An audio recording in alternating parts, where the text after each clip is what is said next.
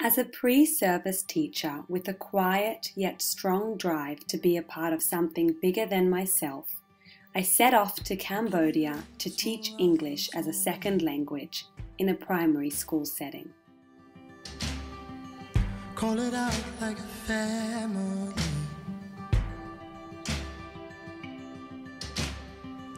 Stood up at my time, get around.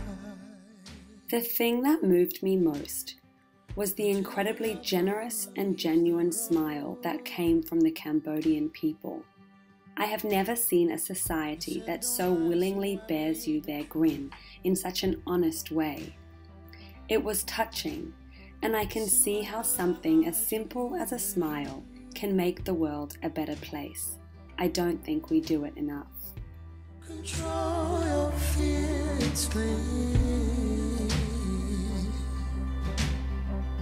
You do not know where you're going to.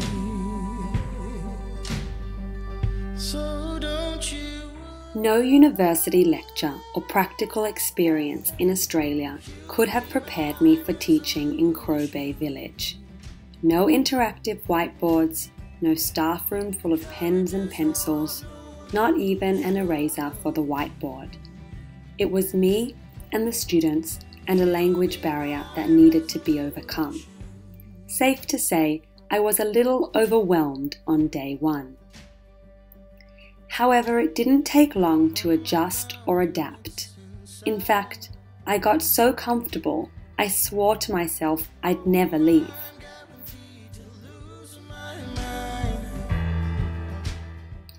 It was such a satisfying feeling to see the children working hard and grasping new concepts.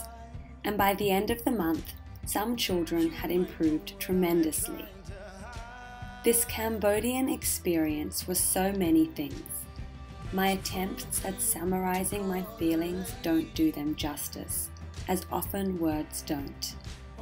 I will forever remember the inner happiness of the Cambodian people who had so little but were still so grateful, as well as their tenacious drive to succeed even with so much against them.